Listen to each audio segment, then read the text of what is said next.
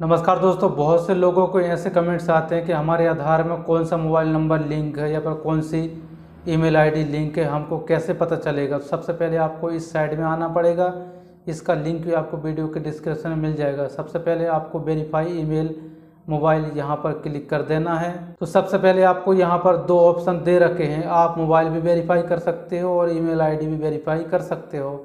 सबसे पहले मैं आपको मोबाइल नंबर बता देता हूँ। यहाँ पर अपना आधार नंबर डालेंगे, कोई सा भी एक मोबाइल नंबर डालेंगे, ये वाला कैप्चा यहाँ पर डाल के और सेंट ओ टी पर क्लिक कर देंगे। और जैसे आप सेंट ओ टी पर क्लिक करोगे तो आपको यहाँ पर रेड कलर में दिख जाएगा कि ये वाला मोबाइल नंबर इस आधार के साथ में लिंक नहीं है।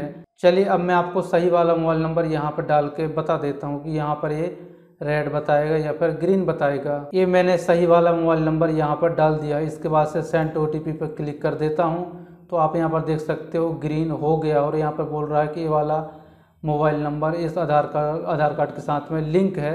तो इस प्रकार से आप पता कर सकते हो। चलिए अब मैं आपको ईमेल आईडी बता देता हूँ।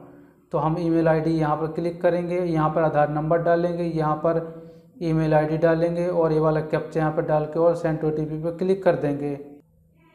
ईमेल आईडी डालने के बाद सेंड ओ टी पर क्लिक कर देंगे तो आप यहाँ पर देख सकते हो रेड कलर में बता रहा है कि ये वाली ईमेल आईडी इस आधार कार्ड के साथ में लिंक नहीं है।